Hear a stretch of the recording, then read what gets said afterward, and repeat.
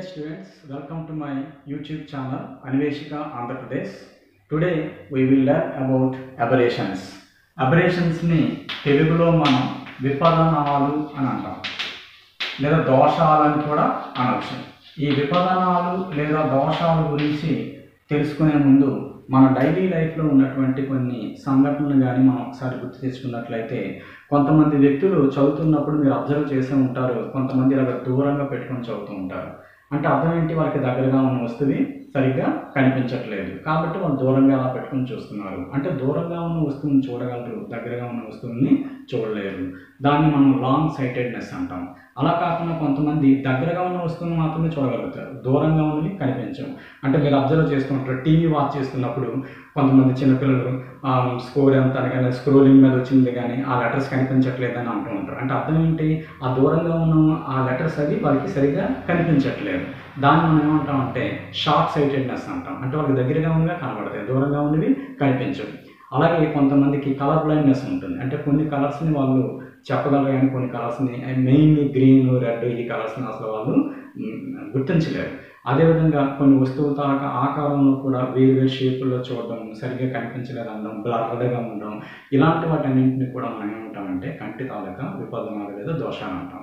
దీనికి గల మెయిన్ కారణం ఏంటంటే కాంతికిరణం అనేటటువంటిది ఏ వస్తువునైతే మనం చూస్తున్నామో ఆ వస్తువు మీద పతనం చెందిన తర్వాత పరావర్తనం చెందిన కాంతికిరణం వచ్చి మన కంటిలో ఉన్నటువంటి కుంభాకార కటకం ద్వారా ప్రయాణం చేసి రెటీనా మీద కరెక్ట్గా ఫోకస్ అయితే మనకు ఆ వస్తువు స్పష్టంగా కనబడుతుంది.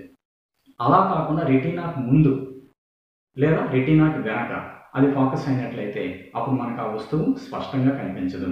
సో ఇలాగా మనకి స్పష్టంగా కనిపించకపోవడం వల్ల దాన్ని స్పష్టంగా కనిపించడానికి మనం డాక్టర్ గారి దగ్గరికి వెళ్తాము. డాక్టర్స్ నుంచి మనకి స్పెక్టికల్స్ రావడం జరుగుతుంది. అంటే ఏంటి? లెన్స్. సో లెన్స్ ఏం చేస్తాయి? ఈ లెన్స్ నుంచి మనం వాటిని స్పష్టంగా ఎలా చూడగలుగుతున్నాము? వీటన్ని అలాగే ఆ లెన్స్లో ఉన్నటువంటి డిఫెక్ట్స్ ఏమైనా ఉంటే వాటిని ఎలా మనం ఓవర్కమ్ చేస్తాము? ఇలాంటివన్నీ కూడా మనం ఈరోజు ఈ విపదనాలు లేదా అబరేషన్స్ అనేటటువంటి టాపిక్లో మనం నేర్చుకోవడం జరుగుతుంది. సో దానికంటే ముందు మనం ఈ అబ్జర్వ్ చేసినట్లయితే కొన్ని నేను లెటర్స్ కొన్ని చూపిస్తాను మీకు. ఇక్కడ చూడండి. మనం ఇది మామూలుగా మీకు కనబడుతున్నటువంటి లెటర్స్ దీంట్లో నేను ఈ లెన్స్ కానీ పెట్టినట్లయితే లెటర్స్ అనేటటువంటివి కొంచెం బిగ్గర్ సైజులో మీకు కనబడుతున్నాయి. ఇంతకు ముందు కంటే బిగ్గర్ సైజులో కనబడుతున్నాయి. అంటే పరిమాణం పెద్దగా ఉంది. అలా కాకుండా ఇంకొక లెన్స్ చూడండి. ఈ లెన్స్తో చూసినట్లయితే మనకి ఏ విధంగా ఉంటుందంటే లెటర్స్ చాలా చిన్న పరిమాణంలో కనబడతాయి. చూడండి ఇవి చిన్నగా ఉన్నాయి. సో మనం ఒక లెన్స్తో చూస్తే పరిమాణం పెద్దగా కనబడుతుంది. ఇంకొక లెన్స్తో దీంతో చూసినట్లయితే పరిమాణం మనకి చాలా చిన్న లెటర్స్ అనేటటువంటివి కనబడడం జరుగుతుంది. ఇలాగా మనం వస్తువు పరిమాణం అనేటటువంటిది చిన్నగా కానీ పెద్దగా కానీ అంటే యాక్చువల్ సైజు కంటే డిఫరెంట్గా ఉండడం అలాగే ఆకారంలో డిఫరెంట్గా ఉండవు రంగులో డిఫరెంట్గా ఉండవు. అలాగే అతని పొజిషన్ ఒక దగ్గర ఉన్నట్టుగా దగ్గరగా ఉన్నట్టుగా లేదా దూరంగా ఉన్నట్టుగా కనిపించడం అనేటువంటిది మనం అబ్జర్వ్ చేస్తూ ఉంటాం. సో వీటిని అన్నింటినీ మనం ఈ లెన్స్ని ఉపయోగించి ఎలాగ మినిమైజ్ చేస్తాము అనేటటువంటిది మనం చూసినట్లయితే దానికంటే ముందు మనం అసలు లెన్స్ అంటే ఏంటో కూడా ఒకసారి తెలుసుకోవాలి. జస్ట్ ఇది మీకు లోవర్ క్లాస్లో తెలిసినప్పటికీ ఈ లెన్స్లో మనకి అసలు కట్టకము లేదా లెన్స్ అనేటటువంటిది ఏంటంటే రెండు వక్రీభవన తలాలు కలిగి ఉండి కాంతి పారదర్శకంగా గల పదార్థాన్ని మనం ఏమంటామంటే కట్టకము లేదా లెన్స్ అంటాం. It has two refracting surfaces and must be transparent so ఇదొక వక్రీభవన తలం ఇదొక వక్రీభవన తలం ఇలా రెండు వక్రీభవన తలాలు కలిగి ఉండి పారదర్శకంగా కలిగినటువంటి పదార్థాన్ని ఏమంటామంటే కట్టకం అంటాం. ఈ కటకం తాలూకా మధ్యలో ఉబ్బెత్తుగా ఉంది అంచులే నుంచి పలచగా ఉన్నాయి ఇటువంటి దాన్ని ఏమంటామంటే మనం కుంభాకార కటకము అంటాం. కాన్వెక్స్ లెన్స్ అంటాం. ఈ కాన్వెక్స్ లెన్స్ని కానీ ఒకసారి మీరు అబ్జర్వ్ చేసినట్లయితే చూడండి ఇది మధ్యలో ఉబ్బెత్తుగా ఉంటుంది. అంచులు అనేటటువంటివి ఈ అంచు చూడండి చాలా పలచగా ఉంటుంది. ఇది పలచగా ఉంది. మధ్యలో అనేటటువంటిది ఉబ్బెత్తుగా ఉంటుంది. దీన్ని మనం ఏమంటాం అంటే కుంభాకార కటకం అంటాం. అదేవిధంగా పుటాకార కటకం. దీనికి కూడా రెండు వక్రీభవన తలాలు కలిగి ఉంటాయి. మధ్యలో కాకపోతే పలచగా ఉంటుంది. చూడండి ఇది అంచు కొంచెం దానికంటే ఇది కొంచెం ఎక్కువగా థిక్నెస్ ఉంది. ఈ సెంటర్కి వచ్చేసరికి ఇదే మంచి చాలా పలచగా ఉంటుంది. సో మధ్యలో పలచగా ఉండి అంచుల నుంచి థిక్నెస్ కానీ ఎక్కువగా ఉన్నట్లయితే దీన్ని మనం ఏమంటామంటే పుటాకార కటకము అంటాం. Concave lens. సో ఈ లెన్సెస్ని ఉపయోగించి మనం అబ్రేషన్స్ అనేటటువంటి ఎలా ఫార్మ్ అవుతున్నాయి వాటిని ఎలా మినిమైజ్ చేయొచ్చు అనేటటువంటిది మనం ఈరోజు నేర్చుకుంటున్నాం. సో ఈ విధంగా మనం వస్తువు తాలూకా ప్రతిబింబాలను చూసినప్పుడు ఆ వస్తువు యొక్క ప్రతిబింబం అనేటటువంటిది పరిమాణంలో కానీ ఆకారంలో కానీ స్థానంలో కానీ రంగులో కానీ మార్పు కలిగి ఉండడాన్నే మనం ఏమంటామంటే విపాదనము లేదా దోషము అని అంటాం. So the deviation from the actual size shape position and colour of an image as calculated by simple equations are called aberrations produced by lenses ఇంకా సింపుల్గా కూడా చెప్పొచ్చు. అంటే the defect in the image form by the lens when the light incident on the lens is called aberration. ఈ అబరేషన్స్ని మనం అంటే due to defects మనకి ఎలాగైతే ఉన్నాయో దాన్ని బేస్ చేసుకొని అబ్రేషన్స్ అనేటటువంటి మెయిన్గా మనకి రెండు కారణాల వల్ల ఏర్పడుతుంది. So the defects in the images arises due to due two reasons. One is due to light. Another one is due to optical system.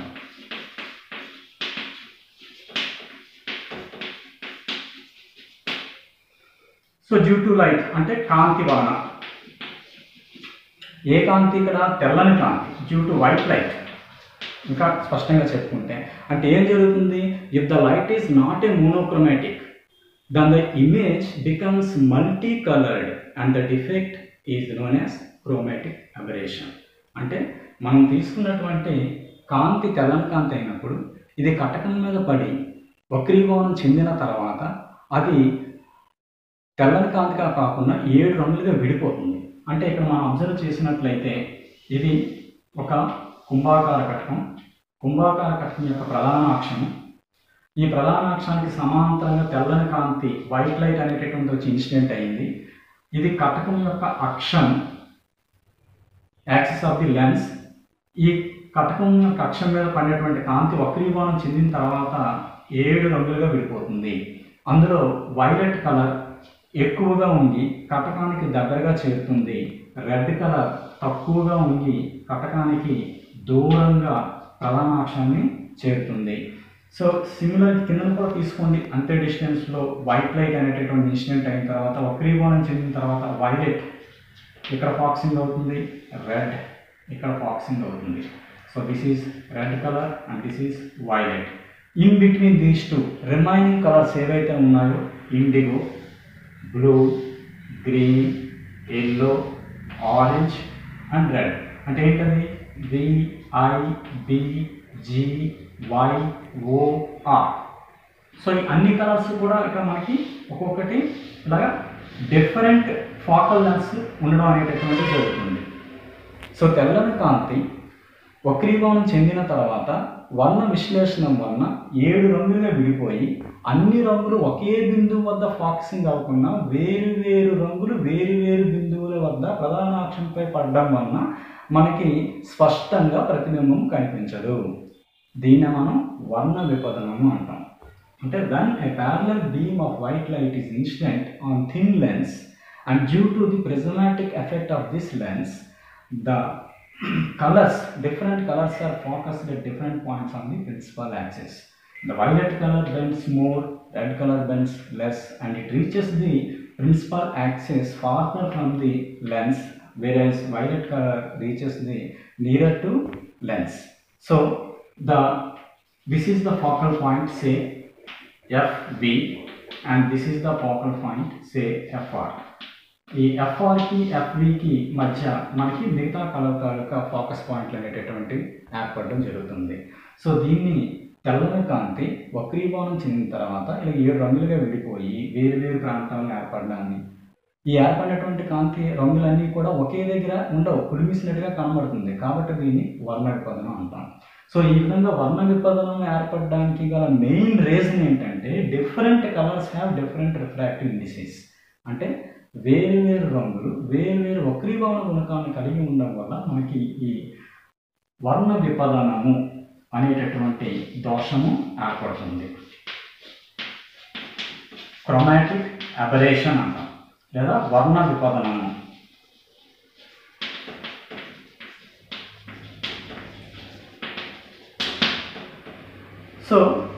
దీని గురించి పూర్తిగా వివరంగా కూడా మనం నెక్స్ట్ క్రొమాటిక్ అబరేషన్ గురించి ఓన్లీ దీని గురించి నేర్చుకుంటాం. అప్పుడు మీకు మళ్ళీ క్లియర్గా ఎక్స్ప్లెయిన్ చేస్తాను. ఇప్పుడు నెక్స్ట్ మనం coming to the optical system దీనివల్ల ఏర్పడినటువంటి అబరేషన్స్ గురించి కానీ వచ్చినట్లయితే మనకు తెలిసి ఇక్కడ తెల్లని కాంతి పతనం చెందిన తర్వాత ఒకే వక్రీభవనం చెందిన కాంతి కిరణాలలో ఏడు రంగులుగా ఉండడం వల్ల ఇలాగ మనకి వచ్చిందని ఇప్పుడు అసలు పతనం చెందిన కాంతిని తెల్లని కాంతి తీసుకోకుండా ఏకవర్ణ కాంతిని తీసుకుంటే మనకి దోషం తగ్గుతుంది కదా? ఆ ఉద్దేశంతో అసలు తెల్లని కాంతి కాకుండా మోనోక్రోమేటిక్ లైట్. అంటే ఏకవర్ణ కాంతిని మాత్రమే తీసుకుంటే ఏమవుతుంది? అప్పుడు కూడా ఏం చేశారంటే even with monochromatic light several defects in the shape of image form so this type of aberrations are known as chromatic aberrations అంటే అర్థం ఏంటి ఏకవర్ణ కాంతిని తీసుకున్నప్పటికీ కటకము వలన ఏర్పడేటటువంటి ప్రతిబింబం యొక్క ఆకారాలలో మార్పులు అనేటటువంటి వేరువేరుగా ఉండడం జరిగింది. అందువలన ఇది ఏకవర్ణ కాంతి వలన ఈ దోషాలు ఏర్పడుతున్నాయి కాబట్టి వీటిని ఏకవర్ణ విపదనాలు అంటాం.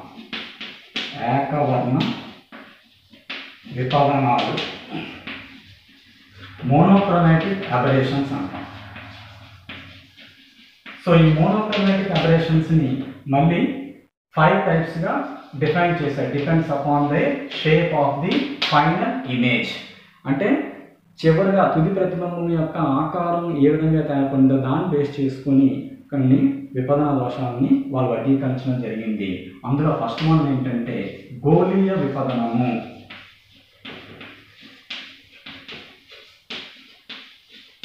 స్పెరికల్ అబరేషన్ అంటాం. రెండోది కోమ కేంద్ర కావరణం.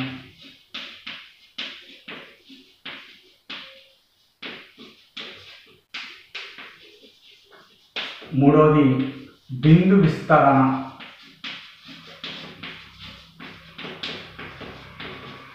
యాస్టిగ్మాటిజం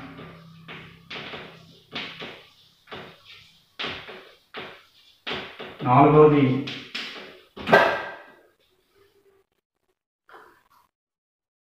వికృతి డిస్టార్షన్ ఐదోది వక్రత curvature so depends upon the image అంటే మనం తీసుకున్నటువంటి ప్రతిబింబం తాలూకా ఆకారంలో ఉన్నటువంటి మార్పును బట్టి ఈ ఆప్టికల్ సిస్టమ్ వల్ల అంటే ఏకవర్ణ విపదనాన్ని ఐదు రకాలుగా విభజించడం జరిగింది. ఇది spherical aberration coma astigmatism distortion and curvature. So ఇందులో ఫస్ట్ మనం గోళీ విపదనం గురించి కానీ నేర్చుకున్నట్లయితే గోళీ విపదనంలో లార్జ్ అపర్చర్ ఉన్నటువంటి కటకాన్ని తీసుకుంటాం కుంభాకార కటకాన్ని. ఈ లార్జ్ అపర్చర్ ఉన్నటువంటి కుంభాకార అంటే పెద్ద ద్వారం ఉన్నటువంటి కుంభాకార కటకాన్ని తీసుకుంటాం. ఇది. ఈ పెద్ద ద్వారమును ఉన్న కుంభాకార కటకం యొక్క ప్రధాన అక్షం ఇది. వస్తువుని బిందు రూప పరిమాణం ఉన్నటువంటి వస్తువును తీసుకుంటాం. ఈ బిందు రూప పరిమాణం ఉన్న వస్తువు నుంచి కాంతి కిరణాలు కటకం యొక్క అక్షం ఇది కటక అక్షం. ఈ కటకం యొక్క అక్షం మీద పతనం చెందినటువంటి కాంతి కిరణాలను కానీ చూసినట్లయితే ఇక్కడ ఈ కాంతి కిరణాలను అబ్జర్వ్ చేయండి. ఈ రెండు కాంతి కిరణాలు ఆల్మోస్ట్ మనకి ప్రధాన అక్షానికి దగ్గరగా ఉన్నాయి. ఇలా ప్రధానాక్షానికి దగ్గరగా ఉన్నటువంటి ఈ కాంతి కిరణాలని మనం పెరాక్షియల్ రేస్ లేదా ఉపాక్షీయ కిరణాలు అంటాం. ఉపాక్షీయ కిరణాలు అంటాం. అలా కాకుండా ప్రధానాక్షానికి దూరంగా ఉన్నటువంటి ఈ కాంతి కిరణాలని మనం మార్జినల్ రేస్ అంటాం. ఉపాంతర కిరణాలు.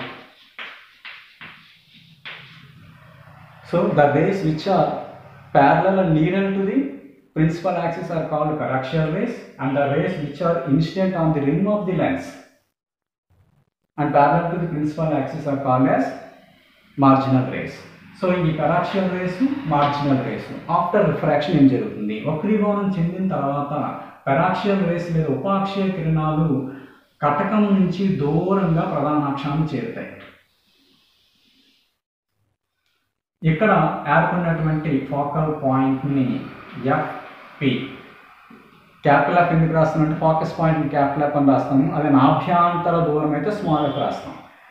అండ్ ఇక్కడ మార్జినల్ రేస్కి వచ్చేసరికి మార్జినల్ రేస్ ఏమవుతుందంటే కటకానికి దగ్గరగానే ఎక్కువగా బెండ్ అయ్యి కటకానికి దగ్గరగా ప్రధాన అక్షరాన్ని చేరుతాయి. దీన్ని మనం ఏమంటామంటే ఎఫ్ఎం అంటున్నాం.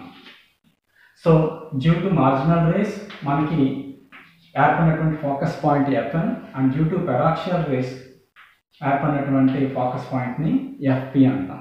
సో ఈ ఎఫ్ఎన్కి ఎఫ్పికి మధ్యలో రిమైనింగ్ పొజిషన్ రిమైనింగ్ అంటే ఈ ఈ ప్రాంతాలు పడినటువంటి కాంతి కిరణాలు కూడా మనకి ఏర్పడడం జరుగుతుంది. అయితే ఇక్కడ మీరు అబ్జర్వ్ చేసినట్లయితే బిందు రూప పరిమాణం ఉన్నటువంటి వస్తువు యొక్క ప్రతిబింబం కూడా బిందు రూపంగా ఉంటే స్పష్టంగా ఉన్నట్టు దోషం లేనట్టు. కానీ ఇక్కడ విందు రూపం కానీ ఇక్కడికి వచ్చేసరికి ఏమవుతుందంటే ఎఫ్ఎం నుంచి ఎఫ్ఈకి ఎక్స్టెండ్ అయినట్టుగా కనబడుతుంది. బిందు రూపంలో కాదు. కాబట్టి ఆ ఎక్స్టెండ్ అయినప్పుడు దాంట్లో ఇక్కడ మనం తీసుకున్నట్లయితే ఇక్కడ చూడండి ఇది పెరాక్షియల్ రేస్ ఇవి మార్జినల్ రేస్ ఈ రెండు కోయిన్సైడ్ పాయింట్ తీసుకుంటే ఇక్కడ ఒక సర్కిల్ ఇలా కనబడుతుంది మనకి. అంటే ఇక్కడ మనం ఒక స్క్రీన్ని ఇలాగా పెర్పెండిక్యులర్గా ప్రధాన అక్షానికి లంబంగా ఉంచినట్లయితే మనకి ఇక్కడ ఒక సర్కిల్ అనేటటువంటి ఫార్మ్ అవుతుంది. అలాగే ఇక్కడ తీసుకున్నట్లయితే దీన్ని ఎక్స్టెండ్ ఎక్స్టెండ్ చేయండి ఇలా మార్జినల్ రేస్ని. ఇది సెంటర్. ఇక్కడ మనకి ఇది ఒక ప్రతిబింబం. ఇలా వస్తుంది. ఈ రెండింటికి మధ్యలో మనం ఇలాగ స్క్రీన్ మూవ్ చేసుకుంటూ వెళ్తే చూడండి ఈ రెండు క్రాసింగ్ పాయింట్ అలాగే ఈ రెండు క్రాసింగ్ పాయింట్ ఇది. ఈ రెండు పాయింట్స్ దగ్గర మనకి ఒక circle small circle which are almost which is almost nearly equal to the image shape of the uh, shape of the image is nearly equal to the object అంటే మన ఇక్కడ ఈ ఆబ్జెక్ట్ తాలూకా ప్రతిబింబం సుమారుగా దగ్గరగా ఉంటుంది. ఇది బిందు రూపంలో ఉంటే ఆ బిందు కొంచెం గోళాకారం కనబడుతుంది. అందువల్ల దీనికి గోళీయ విపదనము స్పెరికల్ అబరేషన్ అని పేరు పెట్టడం జరిగింది. సో ఇక్కడ ఏం జరుగుతుంది అంటే the inability of the lens ఏంటి దాని inability to form the point of point image of the point object on the principal axis is called spherical aberration ఇది. సో ఈ స్పెరికల్ అబరేషన్ ఏర్పడడానికి గల మెయిన్ రీజన్ ఏంటి అంటే మనకి ఇక్కడ పెరాక్షియల్ రేస్ తాలూకా ఫోకల్ లెంత్ ఎక్కువగా ఉంది. అండ్ మార్జినల్ రేస్ తాలూకా ఫోకల్ లెంత్ తక్కువగా ఉంది. మార్జినల్ రేస్ తాలూకా ఫోకల్ లెంత్ ఎంత ఉంటుంది? ఇక్కడి నుంచి ఇంతవరకే ఇది ఎఫ్ఎన్ ఫోకల్ లెంత్ అదేవిధంగా పెరాక్షియల్ రేస్ కానీ తీసుకున్నట్లయితే పెరాక్షియల్ రేస్ తాలూకా ఫోకల్ లెంత్ ఎఫ్టీ. సో మనం తీసుకున్నటువంటి ఈ పెరాక్షియల్ రీజియన్ కానీ మార్జినల్ రీజియన్ కానీ తీసుకున్నట్లయితే వీటి పాపులెన్స్ డిఫరెంట్గా ఉండడం వల్ల మనకి స్పెరికల్ అపరేషన్ అనేటటువంటిది ఏర్పడుతుంది. సో ఈ స్పెరికల్ అపరేషన్ గురించి ఇంకా పూర్తిగా కంప్లీట్గా మనం నెక్స్ట్ వచ్చినటువంటి క్లాస్లో స్పెరికల్ అపరేషన్ గురించి నేర్చుకునేటప్పుడు విత్ ఎక్స్పెరిమెంటల్గా కూడా నేను మీకు చేసి చూపిస్తాను. ఇది ఎలా ఫార్మ్ అవుతాయి ఏంటి అన్నది. నెక్స్ట్ మనకున్నటువంటి అబరేషన్ ఏంటంటే కేంద్ర కావరణము దీన్నే మనం కోమా అని అంటున్నాం ఇంగ్లీష్లో. ఈ కేంద్రక ఆవరణం అనేటటువంటిది ఎలా ఏర్పడుతుంది అని ఒకసారి అబ్జర్వ్ చేసినట్లయితే దీన్ని మనం కుంభాకార కట్టాన్ని కొంచెం థిక్గా ఉంది తీసుకుంటున్నాము. Say this one is centre of the lens and the line passing through the centre of lens is called principal axis and ఇక్కడ ఏంటంటే ఒక పాయింట్ ఆబ్జెక్ట్ని తీసుకుంటున్నాం. బిందు రూప పరిమాణం ఉన్నటువంటి వస్తువుని ప్రధాన అక్షానికి కొంచెం దగ్గరలో తీసుకుంటున్నాం. అదే మనం స్పెరికల్ అబ్రేషన్లో అయితే బిందు రూప పరిమాణం ఉన్న వస్తువుని ప్రధాన అక్షంగా తీసుకుంటే దాని యొక్క ప్రతిబింబం అక్షీయంగా ఏర్పడింది. దీంట్లో ఏ విధంగా ఏర్పడుతుంది అనేటటువంటి చూద్దాం.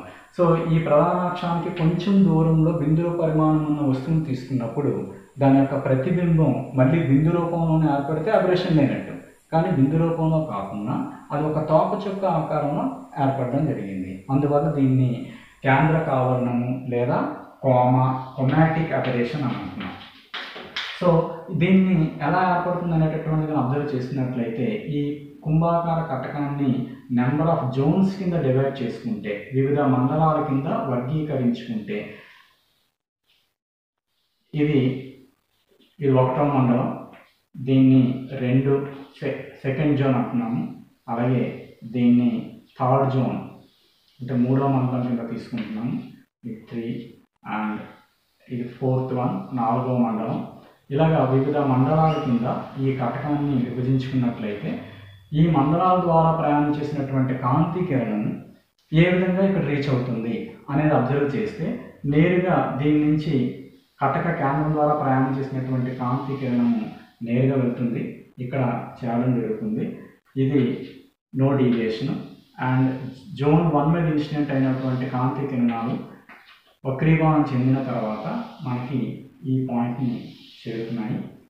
ఇది మనం జోన్ వన్కి ఇక్కడ మనం ఈ ప్రిన్సిపల్ యాక్సిస్కి లంబంగా ఒక స్క్రీన్ కానీ ఉంచినట్లయితే ఆ స్క్రీన్ మీద మనకి ఏర్పడినటువంటి ప్రతిబింబాన్ని మనం చూస్తే ఈ బిందులో పరిమాణం ఉన్నటువంటి వస్తువు నుంచి ప్రయాణం చేసినటువంటి కాంతి కిరణము సెకండ్ జోన్ మీద ఇన్సిడెంట్ అయ్యి వక్రీభవనం చెందిన తర్వాత ఈ పాయింట్ని రీచ్ అవుతుంది.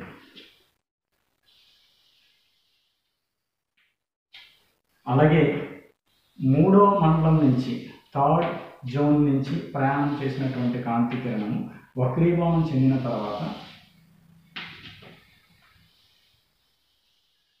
ఇక్కడ చేరుతుంది. అలాగే నాలుగవ మండలం. ఇలాగ ఎన్ని మండలాలు తీసుకుంటే అన్ని మండలాల నుంచి కూడా ప్రయాణం చేసినటువంటి కాంతి కిరణము వక్రీభవనం చెందిన తర్వాత ఇలాగ లంబంగా అది మనకి కేంద్రకం ప్రధానాక్షం వైపు మూవ్ అవడం అనేటటువంటిది మీరు అబ్జర్వ్ చేయండి. సో ఇలాగ మూవ్ అవుతుంటే మనం ఇక్కడ ఈ పాయింట్ ఆబ్జెక్ట్ తాలూకా ఇమేజ్ ఇక్కడ ఏ విధంగా ఉంది కానీ చూసినట్లయితే ఇక్కడ కొంచెం బిందు రూప పరిమాణం ఉన్నటువంటి వస్తువు యొక్క ప్రతిబింబం కొంచెం బిందు ఆకారంలోనే కొంచెం ఇంటెన్సిటీ ఉన్నట్టుగా కనబడుతుంది. దీని తర్వాత ఈ పాయింట్ కనుక తీసుకున్నట్లయితే కొంచెము వ్యాసం ఉన్నటువంటి ఒక వృత్తం అనేటటువంటిది ఏర్పడుతుంది. దీనికంటే ఇంకొంచెం ముందుకెళ్ళినట్లయితే దీనికంటే వ్యాసం ఎక్కువగా ఉన్నటువంటి ఇంకొక పెద్ద వృత్తం ఏర్పడింది. అలా ఇంకా పైకి పొంది వృత్త పరిమాణం పెరుగుతూ వ్యాసంతో పాటు వృత్తం అనేటటువంటి పరిమాణము పెరుగుతూ వచ్చింది. సో ఇక్కడ ఇంటెన్సిటీ ఎక్కువగా ఉంది ఇవన్నీ బ్లర్డ్గా వస్తుంది అనమాట అంత ఇంటెన్సిటీ ఎక్కువగా ఉండదు. దీన్ని మన డైలీ లైఫ్లో మనం అబ్జర్వ్ చేసినటువంటి దాంతో కానీ ఒకసారి కంపేర్ చేసుకున్నట్లయితే ఇది ఒక తోకచుక్క ఆకారంలో వస్తుంది. అంటే తోకచుక్కని మీరు చూసే ఉంటారు.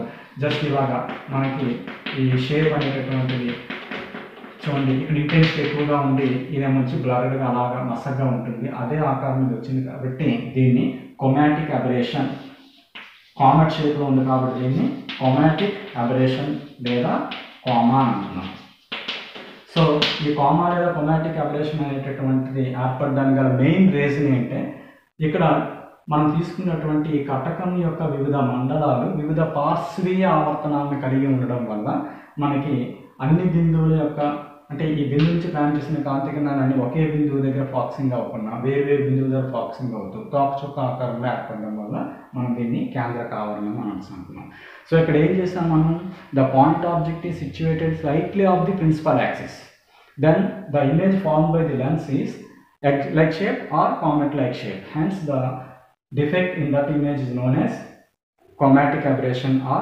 coma so ఇది ఎందుకు ఏర్పడింది అని దానికి మనం చెప్పుకున్నాం. Since different zones of this lens having different lateral magnifications it uh, it this chromatic aberration formed. So ఈ కొమాటిక్ అబరేషన్ అనేటటువంటిది ఎలా మినిమైజ్ చేస్తాము ఏంటి ఇవన్నీ కూడా మనం నెక్స్ట్ క్లాస్లో నేర్చుకుంటాం. దీని తర్వాత మనకున్నటువంటి టాపిక్ ఏంటంటే యాస్టిగ్మాటిజం యాస్టిగ్మాటిజం తెలుగులో దాన్ని మనం బిందు విస్తరణ అని అంటాం.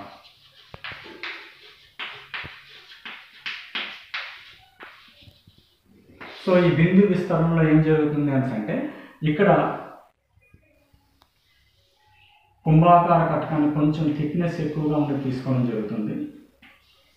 అండ్ ఈ కటకం యొక్క కేంద్రకం ద్వారా ప్రయాణం చేసినటువంటి అక్షాన్ని ప్రధాన అక్షం అంటున్నాము.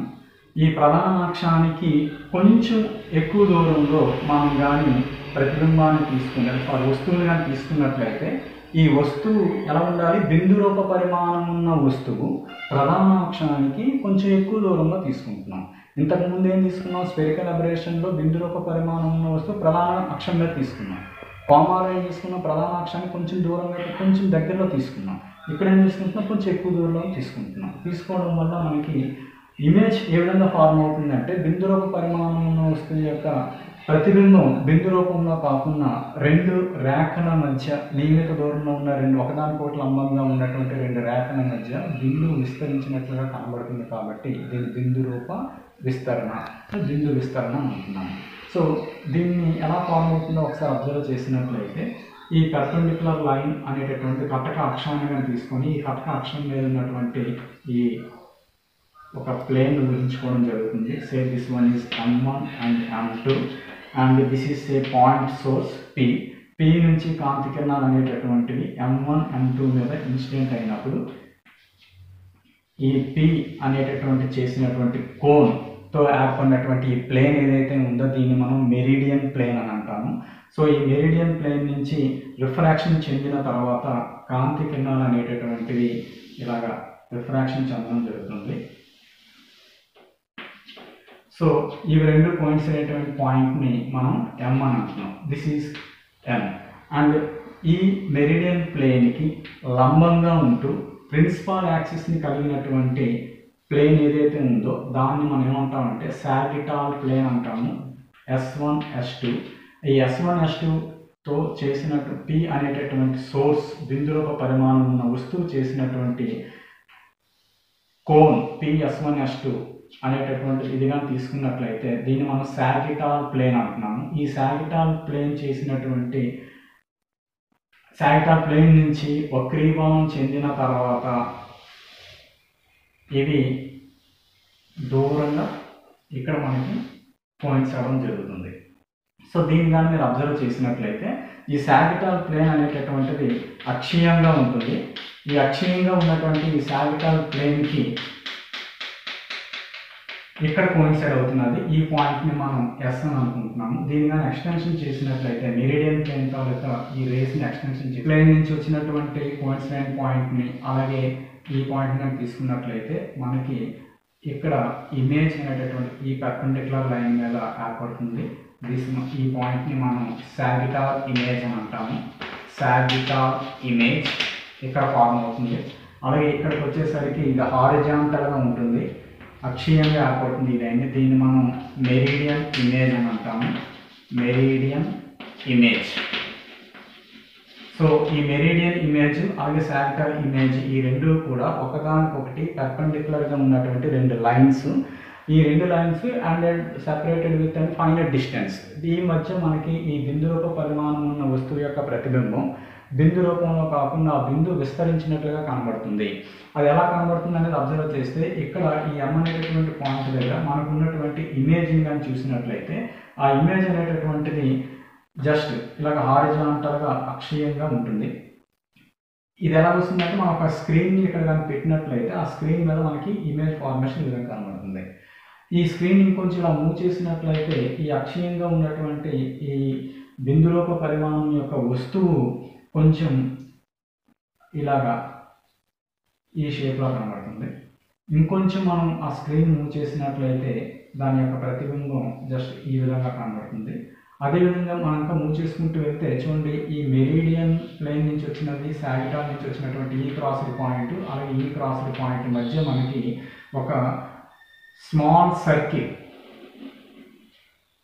ఆ సర్కిల్ అనేటటువంటిది ఖచ్చితంగా మనకి ఎలా కనబడుతుందంటే బిందురూప పరిమాణంలో ఉన్నటువంటి వస్తువు యొక్క ప్రతిబింబం లాగా ఇది కనబడుతుంది. అంటే ఎగ్జాక్ట్గా కాదు బట్ నీరర్గా ఉంటుంది కాబట్టి దీన్నే మనం దీని యొక్క ప్రతిబింబం కింద తీసుకుంటాము. ఇది మిగతా వాటితో పోలిస్తే దీని తాలూకా ఏరియా తక్కువగా ఉంటుంది. చిన్న వ్యాసం కలిగినటువంటి వృత్తం కాబట్టి దీన్ని సర్కిల్ ఆఫ్ లీస్ట్ కన్ఫ్యూజన్ అల్పతమ అస్పష్టత వృత్తం అని కూడా అంటాము. దీని నుంచి ఇంకా మనం స్క్రీన్ని మూవ్ చేసినట్లయితే ఇంకొంచెం మనకి ప్రతిబింబం అనేటటువంటిది ఈ విధంగా మారుతుంది. ఇంకా అలా ఇంకా సాగిటా ప్లేన్ ఈ ఇమేజ్ వరకు మనం మూవ్ చేసినట్లయితే దాని యొక్క ప్రతిబింబం ఇంకా ఈ విధంగా మారుతుంది. కరెక్ట్గా ఎస్ అనే పాయింట్కి వచ్చేసరికి అది మనకి ఇలాగ ఒక వెర్టికల్ లైన్గా రావడం జరుగుతుంది. సో ఈ బిందు రూప పరిమాణం యొక్క వస్తువుని యొక్క ప్రతిబింబాన్ని చూస్తే ఇదేమవుతుందంటే అంటే ఈ ఎన్ పాయింట్ నుంచి ఎస్ పాయింట్ వరకు స్క్రీన్ మూవ్ చేస్తే మనకి ఈ విధంగా మనం బిందు విస్తరించినట్టుగా కనబడుతుంది కాబట్టి దీన్ని మనం బిందు విస్తరణ అంటున్నాం. సో ఈ బిందు విస్తరణలో ఏం జరిగింది అంటే ఏంటి? The point object is situated slightly far off the far off the principal axis అంటే మనం ఈ ప్రిన్సిపల్ యాక్సిస్ నుంచి కొంచెం ఎక్కువ దూరంలో తీసుకోవడం జరిగింది.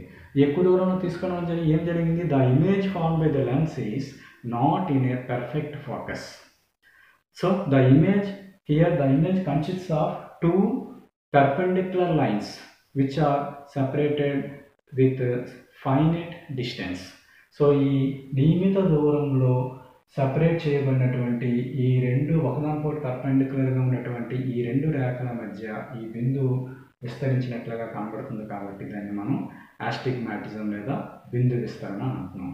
సో ఇది ఎందుకు ఏర్పడింది? ఎలా ఏర్పడింది అనేటటువంటి చూసినట్లయితే ఈ బిందురూప పరిమాణం ఉన్న వస్తువుని ప్రధాన అక్షం నుంచి కొంచెం ఎక్కువ దూరంలో ఉంచడం వల్ల ఇది ఈ కటక అక్షంతో చేసినటువంటి ఇన్క్లినేషన్ యాంగిల్ ఏటవాల కోణం అనేటటువంటిది ఎక్కువగా ఉండడం వల్ల మనకేమవుతుందంటే ఇమేజ్ ఈ అక్షానికి ప్యారలగా ఏర్పడడం జరుగుతుంది.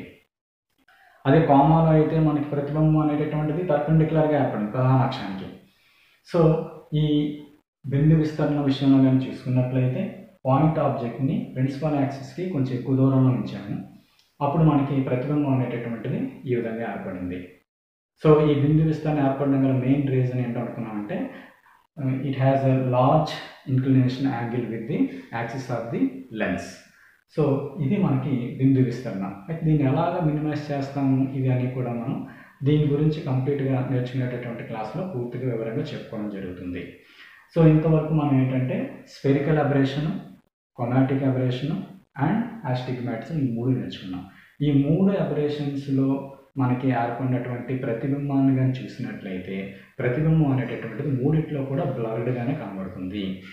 సో దీని తర్వాత మనకున్నటువంటి మిగతా రెండు అబరేషన్స్ ఏంటంటే కర్వేచర్ ఒకటి అంటే వక్రత ఇంకొకటి వికృతి డిస్టార్షన్. ఈ రెండింటిని కానీ చూసినట్లయితే ఈ రెండిట్లో కూడా ప్రతిబింబం మసగ్గా అంటే బ్లర్డ్గా ఏర్పడదు. కాకపోతే ఏమవుతుందంటే dislocation with in the image అంటే ఆ ఇమేజ్ స్పష్టంగానే ఉంటుంది కానీ ఆకారం మాత్రం కొంచెం వేరేగా కనబడుతుంది. సో దాన్ని అది ఏంటి అనేటటువంటిది మిగతా రెండింటిని మనం అబ్జర్వ్ చేస్తే నెక్స్ట్ ఉన్నటువంటి మనకున్న అబరేషన్ వక్రత కర్వేచర్ వక్రత. ఈ కర్వేచర్లో ఏం చేస్తున్నాం అంటే మనం కాన్వెక్స్ లెన్స్ని తీసుకుంటున్నాము. కాన్వెక్స్ లెన్స్ యొక్క కేంద్రకం ద్వారా ప్రయాణం చేసినటువంటి అక్షాన్ని ప్రధాన అక్షం అంటున్నాము. ఈ ప్రధాన అక్షం మీద మనం ఏం చేస్తామంటే ఒక ఎక్స్టెండెడ్ ప్లేన్ ఆబ్జెక్ట్ని తీసుకుంటున్నాం. ఇంతవరకు పాయింట్ ఆబ్జెక్ట్ని తీసుకున్నాం. ఇప్పుడు ఏం చేస్తున్నాం మనం? పాయింట్ ఆబ్జెక్ట్ కాదు. అంటే విస్తృత ప్లేన్ అంటే సమతలంగా విస్తృత సమతలంగా ఉండేటటువంటి ఒక వస్తువుని తీసుకుంటున్నాం అనమాట దాన్ని మనం ఎక్స్టెండెడ్ ప్లేన్ ఆబ్జెక్ట్ అంటాం ఈ ఎక్స్టెండెడ్ ప్లేన్ ఆబ్జెక్ట్ని ప్రిన్సిపాల్ యాక్సిస్కి పర్పెండిక్యులర్గా ఉంచినప్పుడు ఈ సమతలంగా ఉండేటువంటి ఈ వస్తువు యొక్క ప్రతిబింబం సమతలంగా కాకుండా వక్రాకారంలో ఏర్పడింది. అందువల్ల దీన్ని వక్రత అని దోషం కింద నిర్ధారించడం జరిగింది. సో ఎందుకలా ఏర్పడుతుంది అనేటువంటి అబ్జర్వ్ చేస్తే దీని తాలూకా ఈ ఆబ్జెక్ట్ని ఓ ఓ డాష్ అనుకుందాం ఈ కేంద్రకం యొక్క పాయింట్ని సి అని అనుకున్నట్లయితే ఈ ఓ డాష్ నుంచి ప్రయాణం చేసినటువంటి కాంతి కిరణం కేంద్రకం ద్వారా ప్రయాణం చేసింది నేరుగా వెళ్తుంది. సో ఇక్కడ మనం ఏదైనా సరే ఫస్ట్ జోన్ సెకండ్ జోన్ కింద తీసుకున్నట్లయితే ప్రతిదీ కూడా మీరు కేంద్రకం నుంచి ఈ కాంతి కిరణము మనకి ఎక్కడైతే ఫాక్సింగ్ అయిందో అబ్జర్వ్ చేయండి ఇది మనకి ఇక్కడ ఫాక్సింగ్ అవుతుంది. అలా కాకుండా ఈ ఓ డాష్ ఆబ్జెక్ట్ నుంచి కాకుండా ఈ నెక్స్ట్ ఈ బిందు ఆబ్జెక్ట్లో ఓ డాష్ పాయింట్ కాకుండా ఈ బిందు దగ్గరకు వచ్చామనుకోండి ఈ బిందువు నుంచి ప్రయాణం చేసినటువంటి కాంతి కింద వక్రీభవనం చెందిన తర్వాత ఇక్కడ ఏర్పడింది. అలాగే ఈ బిందువుని తీసుకున్నాం అనుకోండి. దాని నుంచి వక్రీభావం చెందిన తర్వాత ఇక్కడ ఏర్పడింది. అలాగే ఈ బిందు ఈ బిందు ఈ బిందు అన్ని తీసుకుంటే ఇలా ఒక్కొక్కటి కూడా ఇలా ప్రధానాక్షానికి దగ్గరగా వస్తూ కరెక్ట్గా ప్రధానాక్షం మీద ఉన్నటువంటి ఓ అనే పాయింట్ని తీసుకుంటే దీని తాలూకా ఇమేజ్ కరెక్ట్గా మనకి ఈ ప్రధానాక్షం మీద ఇక్కడే ఫార్మ్ అయింది. కాకపోతే ఈ ఇమేజ్ని మనం చూడడానికి ఒక స్క్రీన్ తీసుకొచ్చి ఇక్కడ ఉంచినట్లయితే ఏమవుతుందని అంటే ఇది స్ట్రైట్ లైన్లా కాకుండా సమతలంగా కాకుండా ఇలా వక్రాకారంలో మనకి ఇమేజ్ అనేటటువంటిది కనిపించింది. సో ఈ విధంగా మనకేంటి? డిసేబిలిటీ అంటే ఇనేబిలిటీ ఆఫ్ ది లెన్స్ ఏంటా ఇనేబిలిటీ ఆఫ్ ది లెన్స్ ఇక్కడ సమతలంగా ఉన్నటువంటి వస్తువు యొక్క ప్రతిబింబాన్ని సమతలంగా కాకుండా వక్రాకారంగా ఏర్పరిచేటట్టు చేసింది. దీన్నే మనం ఏమంటామంటే వక్రత అని అంటున్నాము. సో ఇలా ఏర్పడడం గల కారణం ఏంటి అని అంటే ఈ ఓ డాష్ అనే పాయింట్ ఈ కేంద్రక కటక కేంద్రకం సీ నుంచి గల దూరం చూసినట్లయితే ఈ ఓ అనే పాయింట్ యొక్క దూరం కంటే ఈ ఓ డాష్ అనేటటువంటిది ఎక్కువ దూరంలో ఉంటుంది. అంటే అర్థం ఏంటి? ఈ ఓ నుంచి పైకి ఇలా వెళ్తున్న కొద్ది ప్రతి బిందువు ఆబ్జెక్ట్ తాలూకా ప్రతి పాయింట్ని మనం చూస్తే ఆ పాయింట్ పాయింట్ ఆబ్జెక్ట్కి కూడా మనకేమవుతుందంటే ఈ సెంటర్ నుంచి గల డిస్టెన్స్ ఇంక్రీజ్ అవ్వడం వల్ల వీటి తాలూకా ఇక్కడ ఏర్పాటు చేసినటువంటి ఫోకస్ పాయింట్ అనేటటువంటిది డిక్రీజ్ అయిపోతుంది. చూడండి ఈ ఓకి కరెక్ట్గా సరిపోయింది. కానీ ఇక్కడి నుంచి వెళ్ళేసరికి దీని తన ఫోకస్ పాయింట్ కొంచెం తగ్గింది. దీనికి వెళ్ళేసరికి ఇంకా తగ్గింది. దీనికి ఇంకా తగ్గింది. అలాగే ఇక్కడికి వచ్చేసరికి ఇంకా బాగా తగ్గుతూ వచ్చింది అనమాట సో ఆ విధంగా ఒకే దగ్గర ఫాక్సింగ్ అవ్వకుండా ఫాక్సింగ్ అనేటటువంటిది గ్రాడ్యువల్గా డిక్రీజ్ అవుతూ మన స్క్రీన్ పెట్టి అబ్జర్వ్ చేసినట్లయితే అది ఒక ఒక్క మనకి కనిపించింది. సో మనం ఇక్కడ ఏం చేసాం మనం? ఈ కర్వేచర్లో అంటే even though This lens is free from spherical aberration, chromatic aberration, astigmatism, but the image of the extended plane object formed by this lens is not in this shape. This is completely in curved shape. That's why it is known as curvature. So ఇది ఎందుకు ఇలా ఏర్పడిందంటే this arises due to the points away from the axis of the lens మనం ఏవైతే తీసుకున్నామో away from the axis of the lens are a greater distances from the center of the lens center of the lens than the axial point O. అంటే మనం తీసుకున్నటువంటి point ఓ డాష్ని తీసుకుంటే ఓ dash అనేటటువంటిది C నుంచి ఎక్కువ దూరంలో ఉంది. ఓ అనేది తక్కువ దూరంలో ఉంది. ఈ దూరం మారుతుంటే మనకి ఫోకస్ పాయింట్ మారుతూ ఇది ఒక వక్రత అంటే వక్రాకారంలో రావడం జరిగింది. అందువల్ల దీన్ని వక్రత అని అంటున్నాం. దీని తర్వాత మనకున్నటువంటి లాస్ట్ అబరేషన్ ఏంటంటే డిస్టార్షన్. ఈ డిస్టార్షన్ అనేటటువంటిది ఎలా ఏర్పడుతుంది అనేటటువంటి దాన్ని అబ్జర్వ్ చేస్తే ఇక్కడ కూడా మనం ఆబ్జెక్ట్ అనేటటువంటిది ఒక ప్లేన్ స్క్వేర్ లైక్ ఆబ్జెక్ట్ని తీసుకుంటాం. ప్లేన్ స్క్వేర్ లైక్ ఆబ్జెక్ట్ని తీసుకునేటప్పుడు ఇది ఒక స్క్వేర్ షేప్లో ఉన్నటువంటి ప్లేన్ స్క్వేర్ ఆబ్జెక్ట్ని తీసుకుంటున్నాను. ఇది ఈ విధంగా ఉంది. అప్పుడు దీని తాలూకు ఇమేజ్ ఈ లెన్స్ ద్వారా మనం అబ్జర్వ్ చేసినట్లయితే యాజ్టీజ్గా ఇలాగే వచ్చింది అనుకోండి మనకి డిఫెక్ట్ లేనట్టు అంటే దోషం లేనట్టు. అలా కాకుండా ఈ చతురస్రాకారంలో ఉన్నటువంటి ఈ వస్తువు యొక్క ప్రతిబింబం చతురస్రాకారంలో కాకుండా ఇలాగా కొంచెం అన్ని నాలుగు వైపులా లోపలికి నొక్కినట్లుగా ఒత్తినట్లుగా ప్రెస్ చేసినట్లుగా చేస్తే ఎలాగైతే వస్తుందో ఇక్కడ చూడండి ఈ రెండు. సో ఇది ఒక అన్ని వైపులా నొక్కబడి ఉంది. దీన్ని మనం పిన్ కుషన్ షేప్ అని అంటాం. అలా కాకుండా నాలుగు వైపులు కూడా ఇలాగా ఎక్స్టెన్షన్ చేస్తే వచ్చింది కానీ అబ్జర్వ్ చేస్తే మీకు ఇలాగా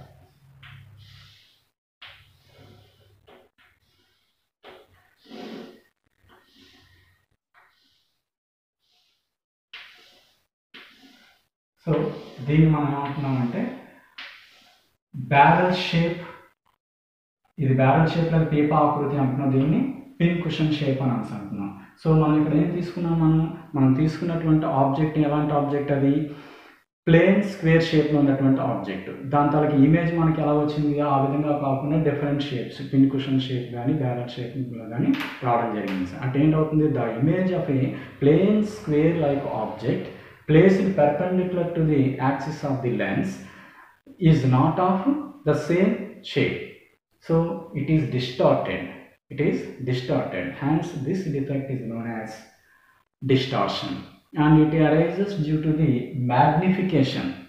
Magnification produced by the lens is different for different points in the object. అంటే ఏమవుతుంది? మనం తీసుకున్నటువంటి ఈ plane square wave square object principal axis మీద దీన్ని లంబంగా తీసుకునేటప్పుడు ఇక్కడ ప్రతి పాయింట్ని చూడండి. ఈ పాయింట్ని కానీ అబ్జర్వ్ చేస్తే ఇవన్నీ కూడా ప్రధాన అక్షం నుంచి ఇది కొంచెం దూరం ఉంది ఇది కొంచెం దూరం ఎక్కువ ఉంది ఎక్కువ దూరం ఇలా దూరం పెరుగుతూ ఉంది.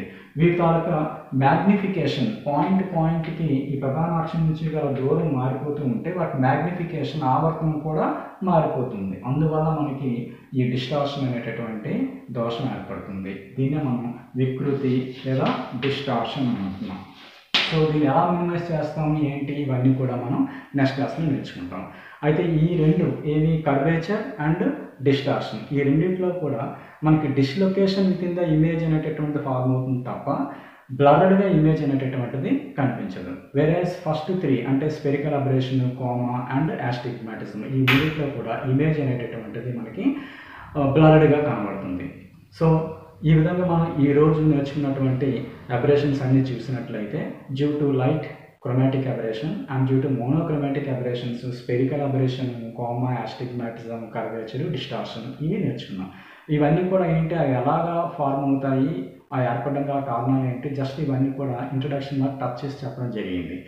ఇవి ఎక్స్పెరిమెంటల్గా పూర్తిగా కూడా మనం ప్రతి ఒక్కదాన్ని కూడా మనం నెక్స్ట్ క్లాసెస్లో నేర్చుకోవడం అనేటటువంటి జరుగుతుంది. Thank you